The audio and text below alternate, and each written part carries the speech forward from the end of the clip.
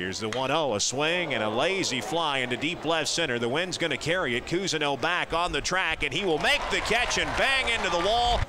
Here's the pitch. Bernie golfs one at third. It gets over the glove of Chittenden and into left field.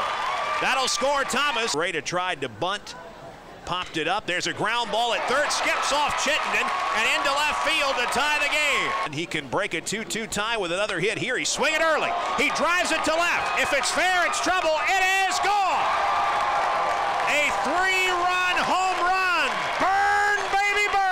Kentucky leads it 5 to 2 was ranked number one. Vandy in the top five. Runner goes. A pitch outside. The throw to second and the tag, and he got him.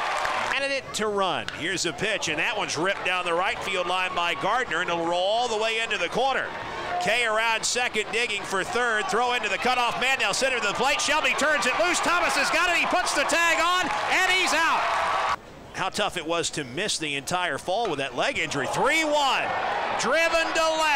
Gardner's looking. He leaps. He won't get it. See ya. A solo home run for Javon Shelby.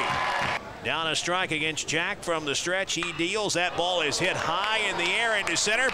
Kuzi's drawn a beat on it. This ought to do it. Cousino camps and catches, and the Cats win.